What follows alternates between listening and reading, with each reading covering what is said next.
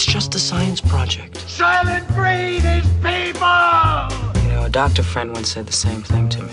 Frankenstein was his name. It's alive! It's alive! It's alive! That sounds like something out of science fiction. Please explain to me the scientific nature of the whammy. We live in a spaceship, dear. So, Yes, science! Program complete. Enter when ready. Hello and welcome to episode 342 of Science on Top. Today's Monday, the 30th of September, 2019. I'm Ed Brown and I'm joined by Penny Dumsday Hello. and Lucas Randall. Hi. This show is only possible thanks to the generous support from our Patreon subscribers, people like Cameron Webb and Mick Vag, who have been chipping in each episode to help us pay the bills and keep the lights on. Just head to scienceontop.com slash donate. But let's begin with Tabby's star. Now, we've talked about this a fair bit on the show. A star 1500 light years away that varies in brightness, apparently randomly and sometimes quite significantly. There have been loads of hypotheses posited to explain it. Everything from swarms of planets and comets to an alien Dyson sphere constructed to harness the star's energy. But, Lucas, what's the latest intriguing theory? Okay, so maybe I'll just do a quick recap so people haven't got to go back and listen to the other episode, um, if that's okay. Is that all right? It is. I mean, I thought I just did a quick recap, but hey, do another quick recap. Oh no, it's it's pertinent slower, to it's pertinent to the new the new um, uh, theories, basically, Okay. new new hypotheses. So so Tabby star or Boyajian star, or if you prefer, Kick eight four six two eight five two, whichever your favorite name is. Um, this star was was originally um, noticed by Kepler. If you and if you remember the Kepler mission, the Kepler mission is a planet finder or was a planet finder mission that was pretty much just staring at one swathe of sky, one little patch of sky, looking for changes in brightness. And the reason it was looking for changes in brightness is because, as you may remember, um, there's a, a, a an effect that's known as the or a method that's known as the transit method of finding planets, whereby as through a chance alignment, uh, a a planet orbits its star and happens to cross the face of its star from our perspective, it will cause a dimming of that star's light. So that's the transit method, and that's what Kepler was designed to look for. Now, Kepler found heaps and heaps, know, thousands and thousands of stars uh, of, of, of uh, candidate planets, I should say. So that's that's happened in the past now, but uh, really cool mission. But this was a very interesting outcome from it because this particular star that was originally noticed around 2009, they found, you know, this star that had a really long transit um, it, it had a dip in brightness for a long period of time, and th- and that was very strange and it was notable. But then it also dimmed in 2011. It dimmed uh, the the starlight dimmed by about 15%, which is just huge. I mean, it's massive. So if you think of a, a a large gas giant, like larger than Jupiter, you would expect to see, given its uh, you know average distance from its star and so forth, you'd expect to see a a planet of that sort of mass would dim its star by perhaps around one percent of its overall light output. And this is 15 times that. Yeah, that's that's huge. I mean, that, that's that's remarkable. Um, and of course, you know that that caused a little bit of uh, um, oh, what the? Uh, and then um, there was another event in 2013, which is when everything just went crazy because the citizen science team um, that were analysing Planet Hunter data, they noticed that there were just all sorts of dips in the brightness, which lasted days. Um, reductions in brightness over 20%. It was all over the shop. It was just crazy. So that that's why this was notable because it's it's completely unprecedented. We we we you know we were really stretching for ways of, of, of understanding what could be going on here.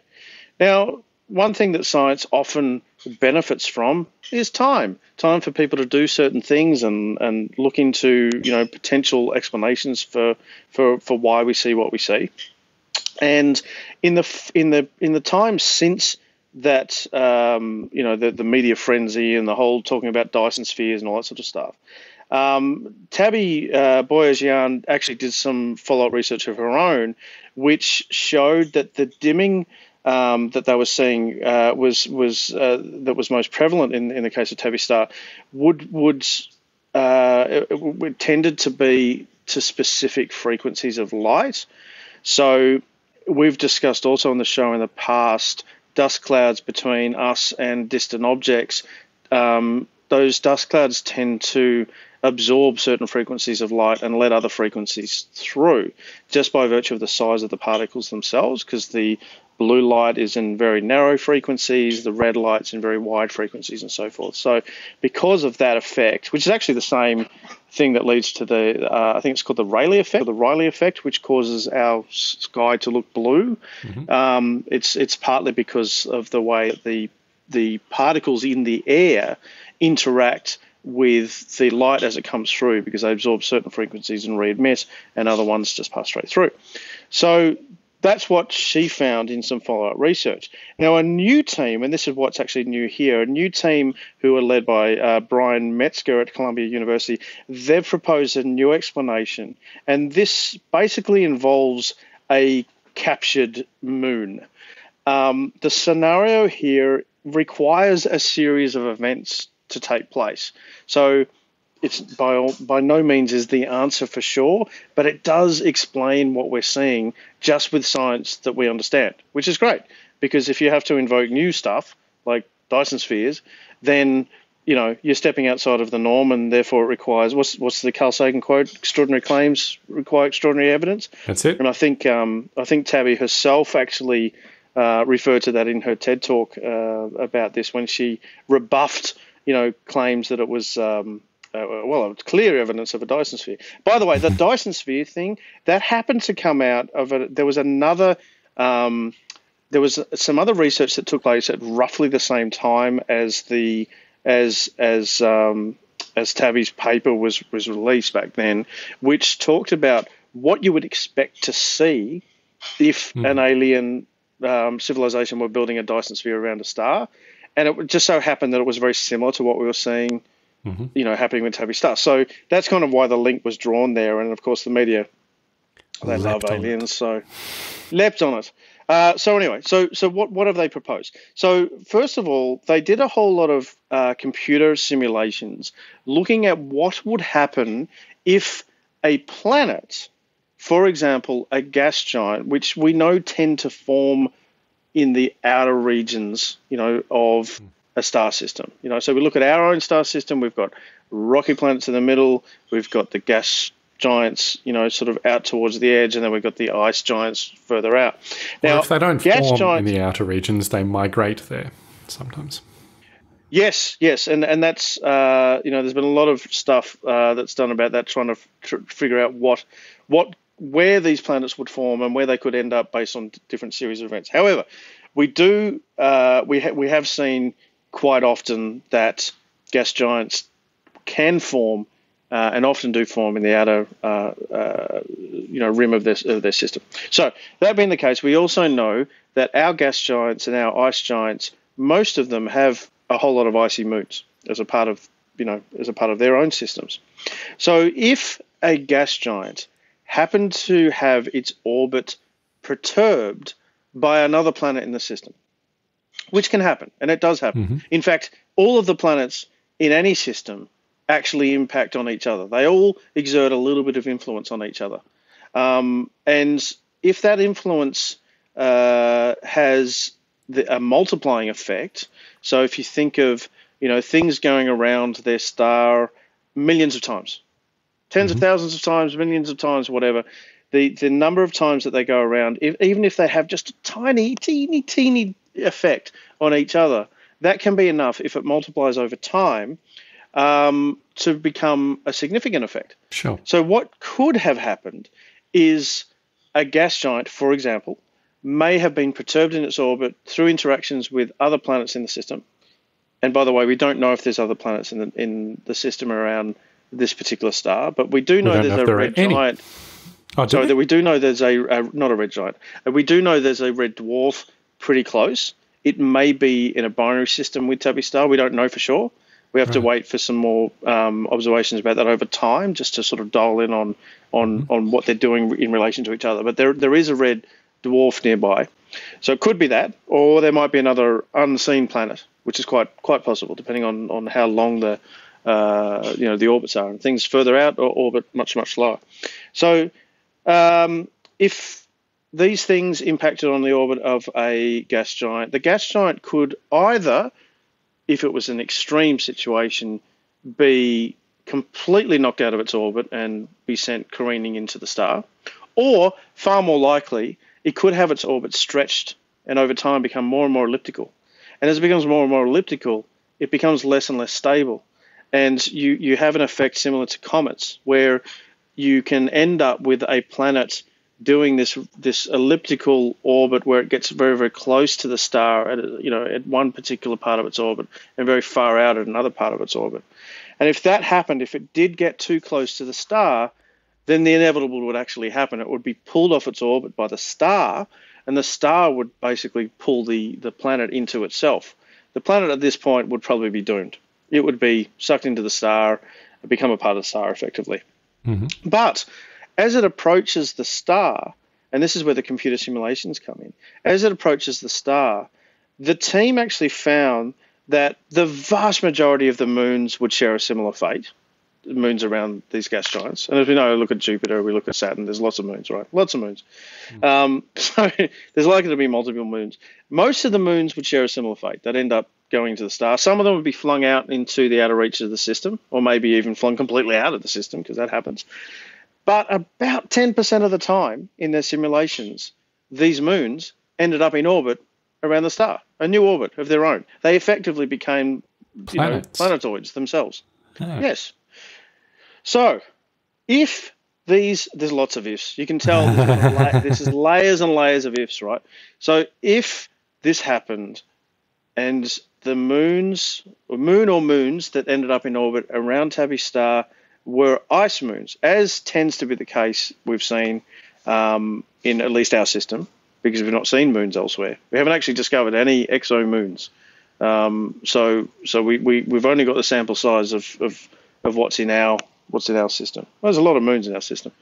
Um, if this happened, then these icy moons would quite feasibly cross what's known as the ice line. The ice line? The ice line. Who knew that was a thing? I didn't know prior to this particular story that there was an ice line. So, what is the ice line? I hear you ask. The ice line is the point at which um, a something like a, an icy body, like a comet or a, a, moon or whatever, is able to quite happily maintain its volatiles without them being evaporated off. Um, so, it's not the same as the habitable zone because the habitable zone, which tends to refer to that nice cushy zone in which um, a planetary body can maintain liquid water on its surface. Um, it's different for an ice moon because an ice moon tends not to have much of an atmosphere, if any at all, and an atmosphere is required for water to stay uh, liquid. Otherwise, it will just um, it will just sublimate. It will just sublimate off, and it will just basically evaporate, go straight from ice to gas.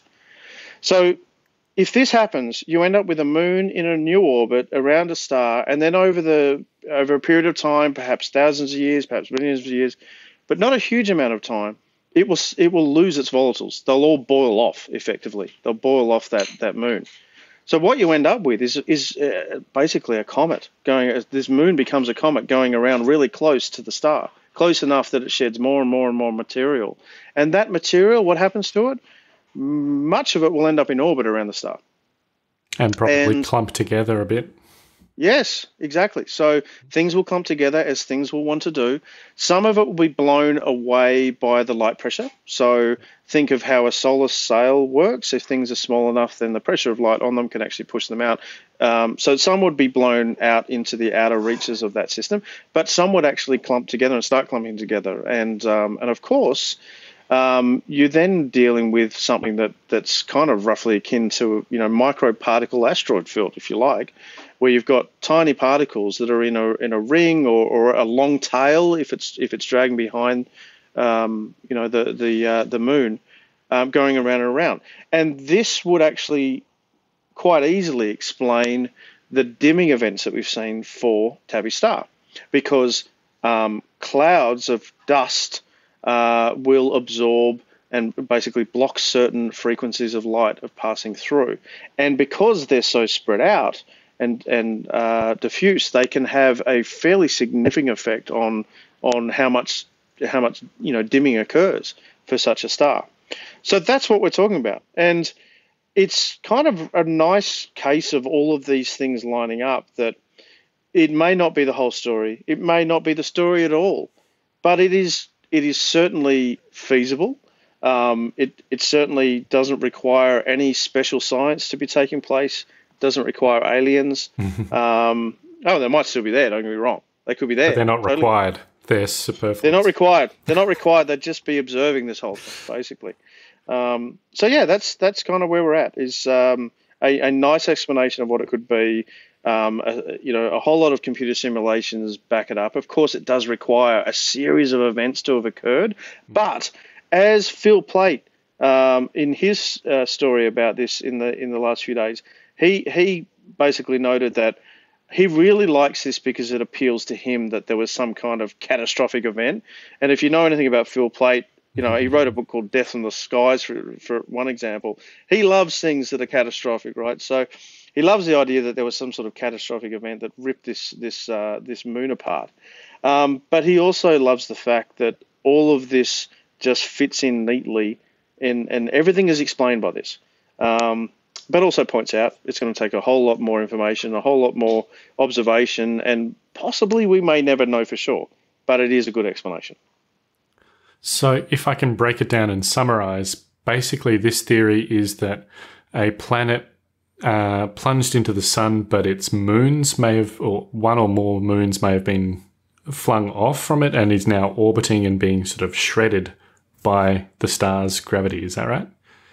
Uh, not so much the gravity, although there might be some tidal forces involved as well. It is more likely based on what they're seeing and what the simulation showed them that, but we're seeing the volatiles boiled off such Ah. a moon. So if it was an icy body and it was losing its its volatiles, which are whatever was ice on the thing, it could have been it could have been oxygen, Methane. helium, Yep. you know, it could have been water, who knows.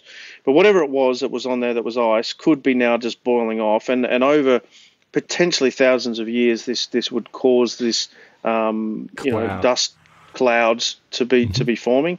And it really would match up quite well with the, um, the dimming effects that we're seeing with this star. Very cool. I like it. It's, as you say, it's one of those neat explanations that doesn't involve magical super events. It's just, it fits what we know about physics. And again, it's computer modeling backs it up. And it may be right, it may be wrong, but it's, it's a neat and elegant theory. Absolutely, and I'm a big fan of computer modeling to tell you whether your your hypotheses have any merit or not. Sure. Um, They and, won't you know, necessarily tell you if it's true, but it's plausible No. or likely. Yeah. Absolutely, and and and if I may, because I I know I'm asking for some indulgence here because I always mention this whenever we talk about computer modeling. Yes, is that climate modeling also uh, doesn't tell you for sure uh, what is happening or what will happen. But when you run those models with data that you know to be true, observations from the past, and the model spits out what actually happened in the past, that's a really good sign that the model is sound. And Mm-hmm. Therefore, it's a good sign that the model can, can at least give you some insights into what will happen. Uh, and I'll jump off my soapbox now. All right.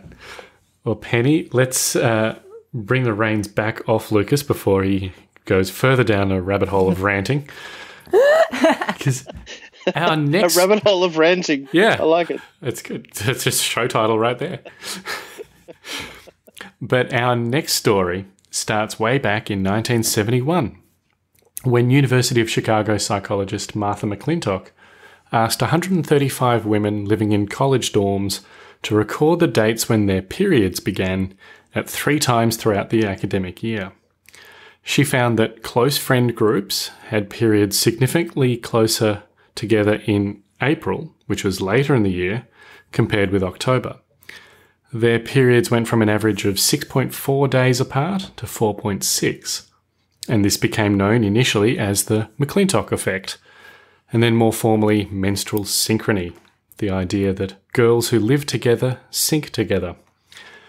And it's still a widely held belief nearly 50 years later. But there's just one problem, isn't there, Penny? It's not true. It's not true. Only one small And problem. as I myself found out a number of hours ago, it is not true. So there you go. Like, and I'm a biology teacher.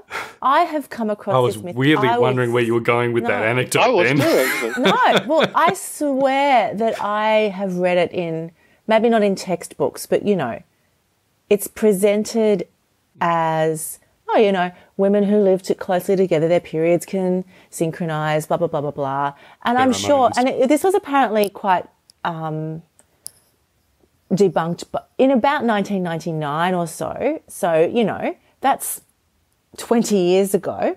Um, and really, it's sort of clear how it could come about in that, you know, on average, a woman's cycle is about 28 days, typically, quote unquote. So you can only be 14 days kind of maximum out of phase. So on average, you'd think people be about seven days apart in terms of when their period starts. But a period can last five days a week. So if you're talking to your close friend, which is probably the only people you really are going to talk about your periods. You're like, like, oh hi Ed, hi Lucas. Just thought you guys should know, like I'm a few days late this cycle. You know, like we don't we don't chat that way. No, No. but um, you know, there's a one in four chance that yeah, your period is probably happening at the same time. Is it, so it's what- sort of like yeah. how I often say, you know, people talk about, oh, is the full moon, does that have an effect on our behavior and stuff? And I say, well, yeah, 100% of murders happen Yeah. Mm. within two weeks of a full moon. And it takes them a while to figure it out that that's because it's a month. And it's interesting you mention moons because this idea that women's periods will synchronize not just with each other but also with the moon and you know maybe it's just our technology lifestyle and going on the pill that stops this beautiful mystical female blah blah blah blah blah anyway but we're not actually talking about this not being true because that came out in 1999 and we do on science on top try and keep to somewhat current research It's Um, the goal. it's a goal. What is interesting is, and this is what the most recent study has been looking at, is well, why is this so persistent? Because I'd read it before. Um, hormones, pheromones, subconscious, blah, blah, blah. I'm like, oh yeah, sounds fair enough. You know? Yeah. Haven't personally experienced it, but hey, I haven't lived with large groups of women who I've discussed my period with. So what would I know? You know, the last time I was doing that was in at school. I'm pretty, you know, we would have died rather than talked mm. about these things. So this is really interesting. Obviously, there's an element of confirmation bias in that people might tend to believe it, they hear it, and they think, oh, yeah, when I spoke to my mum or my sister or my best friend and asked them for a tampon because they're the only people I'm going to ask for, you know, they had their period too. So that kind of, we tend to go, oh, yeah, we don't notice the times when something doesn't confirm our belief. We notice the ones that do. But there's other reasons too, because a lot of people do think it's real. I mean, I thought it was real. I, I never really invested much in that thought, but yeah. And it might be that women believe this, and I'm just going to say women because the article studied women's thoughts about this, not men's thoughts about this in particular, and women with periods, um, in that it seems like a way of connecting with other women or something that is really primal or animalistic or really basic that um, women experience together. Um, some women felt that it sort of reflected hierarchies in a group so that everyone will sync with the alpha female kind of thing. Um, it also allows women to connect. There's a lot of aspects of periods, like this idea of, you know, feeling grumpy before your period or feeling hungry or wanting chocolate. And as well as being. I think I've always got my period.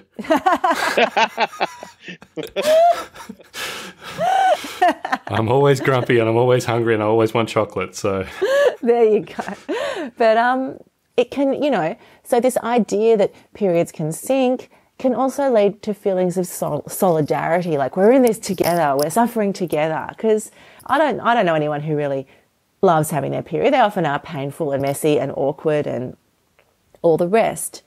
And that could be an empowering feeling because, you know, it has been shown that, you know, women aren't meant to be angry, especially as a group, you know. We are sometimes not believed about our pain or, you know, this idea about, um, you know, women's pain can sometimes be downplayed or trivialized or so on. And whereas we know that hormones do affect our mood, they do affect our bodies.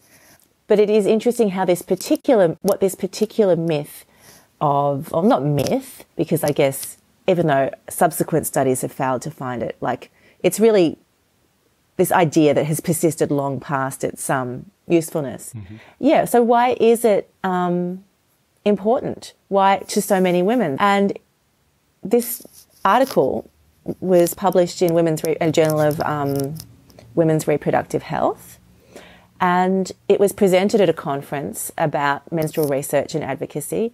And a lot of people were really apparently quite aggressive to the idea that period syncing didn't have scientific support.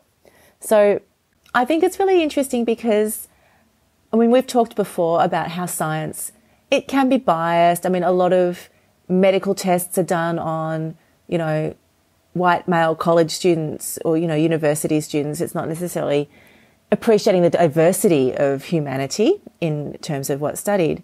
And like, I don't know if I'm being biased going, oh, well, you know, the published papers say, no, this is not a thing, but then why is it so important to believe? So I just found this really interesting. A, because it, it was not something I'd thought about very often, but I certainly had accepted it. I'm like, oh yeah, there's a study. It happens. Okay. And, um, but to think about, you know, why particular, why seemingly non-scientific ideas can take hold and get traction. And this one's a reasonably harmless one. Mm. But yeah, it does happen in the context of a lot of pseudoscience. I think when you get ideas like this that just keep coming up all the time, I think a lot of it is just how it's represented in television and movies and books mm. and things like that, where it's it's a really useful uh, plot device, I guess. Yeah, a lot of yeah. storylines with and a punchline often in your comedies mm. and that. And just when you get repetition so often, it becomes ingrained in people that that's just what happens even though yeah, the science isn't there. Yeah, why would all these people keep saying it if it wasn't yeah. if it wasn't true? Yeah. But now we all know there is no actual evidence, and you've heard right. it on Science on Top, so you can tell your friends when they next say, "Oh, she's also on her period." It's, we must have synced. Oh, up. we're so in sync. We're you can we have say, a mystical no, connection. I heard it on Science on Top. That's a myth. And it's not, we're not necessarily saying it's not true and it doesn't happen. What we are saying is that of all the attempts to reproduce and yeah. the statistical analysis has not found any significant evidence of that link. Oh, and I mean also, I mean, obviously people's periods can be sure. happening at the same time. Like Yep. That's yeah, like as I said, like statistically, that's quite likely. But it's whether they change depending yeah. Yep. Now, Lucas, a few weeks ago we talked about a new flu vaccine developed with the help of artificial intelligence. And now a study recently published in the journal Nature suggests that an AI has managed to predict future scientific discoveries by analysing existing research. What is natural language programming? Uh, when I saw, when I, like when I saw it, its its uh, acronym is NLP. Yep. When I saw that in skeptical oh. circles, NLP is neuro linguistic yeah. programming. Isn't yep. that that Which, weird pickup artist stuff? Essentially, yeah, yes. Yeah. Essentially, okay, good, good.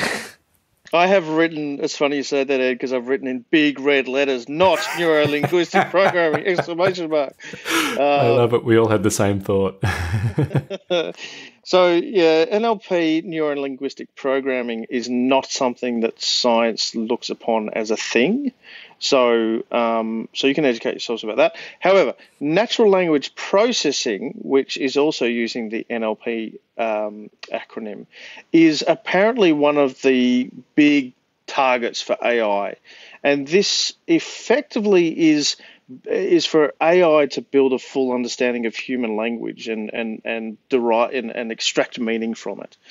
The the goal here is to have AI uh, at a point that it can effectively read things for you and tell you what's important.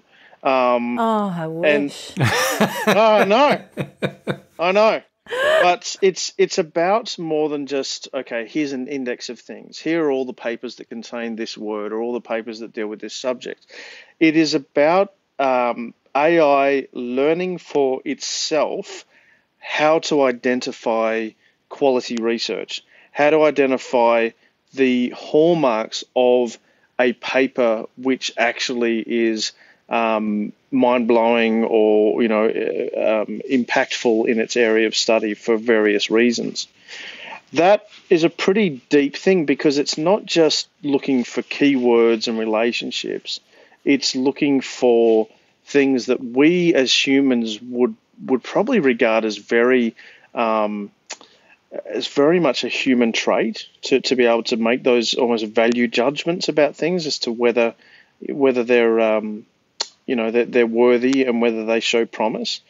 I'm not going to go into this in great detail because it is a little bit uh, thick, but basically it comes down to a, um, a a team have have built an AI which has managed to teach itself by trawling through over one and a half million science papers, um, dealing, I believe, in because the article doesn't doesn't touch on this specifically, but I believe they were dealing with a particular type of research, uh, and it relates to um, it relates to photovoltaic cells and gas and heat exchange and and ways of, of harvesting energy and so forth. So, um, so there's the, the they taught they gave they basically fed this AI uh, you know over a million and a half papers that seems primarily to deal with various chemical science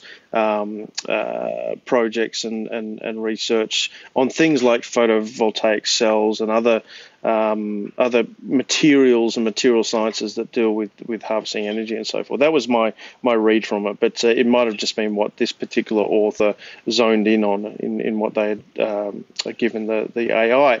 And the, the, what's really interesting is the way that the AI learned. There's two main ways of, of teaching an AI. One of them is to feed it information and then give it um, give it input. So you say to it, okay, so the, the correct um, outcome from this is that, or you you should derive this uh, conclusion from reading that, or this paper is should be classified in this way because it deals in these things. So it's that's a guided AI. You basically you teach it by feeding it information and then telling it what to think about that information. All right, so mm-hmm. that's one way of doing it. This AI is a different approach, though, where it learns for itself, and we've we've talked about this a few times recently. So if an AI is learning for itself, you're not giving it any kind of um, feedback at all. You're just saying you figure it out. Here's all the papers. You figure out what's good. Now, if you remember a while ago, the Goo, I think it was the was it the Microsoft Deep Learning or was it the Google one? I can't remember. One of them basically turned into a Nazi almost overnight. Do you remember this? yeah, from, I remember that. The, I think. Yeah. Uh, I think it might have been Microsoft. Was, I can't remember exactly.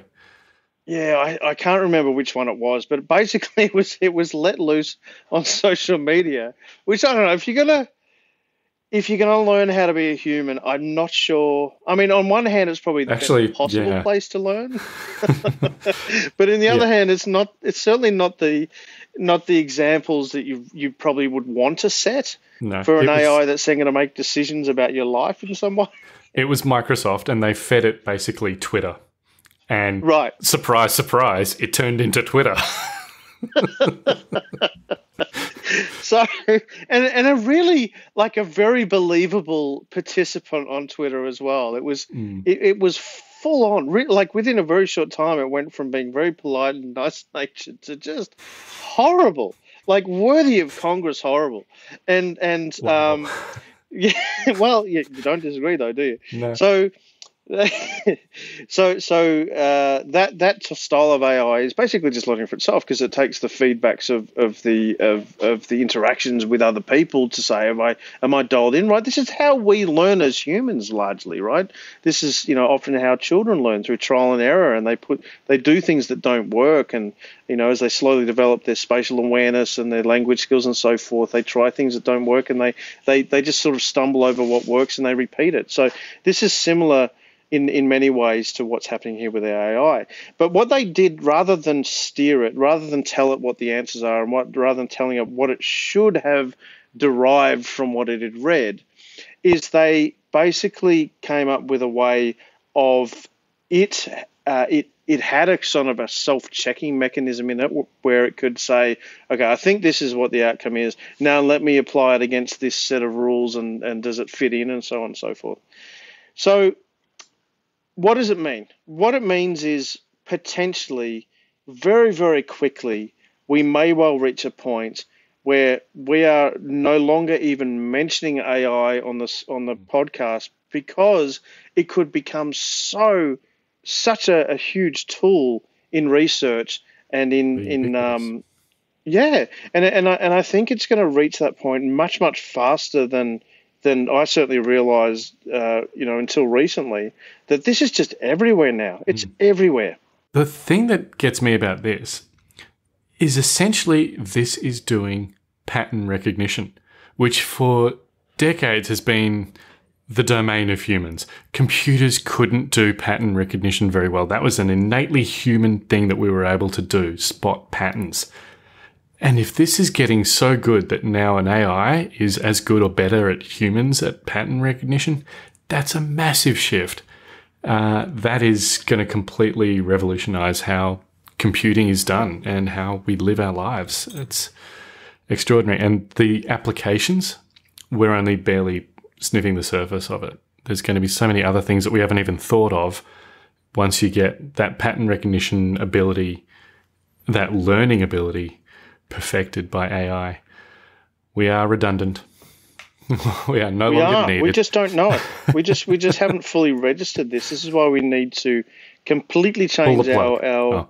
Yeah, we, we've got to change the way our economies work because this is you know jobs will go to this stuff. We we can't keep doing what we're doing anyway. Another another rabbit hole. I won't. rabbit hole of ranting. the science on top story. That's our documentary. The making of. And I think that's our show. As always, all the links we talked about are in the show notes and on the web at scienceontop.com slash 342. Thanks to all our Patreon supporters. We've been doing this show for more than eight years. That sort of staying power is really only possible because of everyone who's chipped in at scienceontop.com slash donate. So thank you very much. And thank you, Penny and Lucas. Thanks, Ed. Thanks, Ed. And thank you, everyone, for listening. We'll be back again next week, putting science on top of the agenda. Join us then.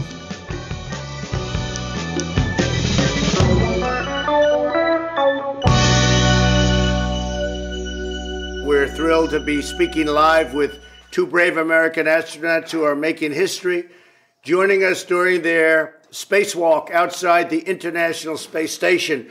And this is the first time for a woman outside of the space station are flight engineers Christina Koch and flight engineer Jessica Meir. You are amazing people. They're conducting the first ever female spacewalk to replace an exterior part of the space station. Uh, they're doing some work and uh, they're doing it in a very high altitude, an altitude that very few people will ever see. First of all, we don't want to take too much credit because there have been many other female spacewalkers before us. This is just the first time that there have been two women outside at the same time. And it's really interesting for us. We've talked a lot about it up here. You know, for us, this is really just us doing our job.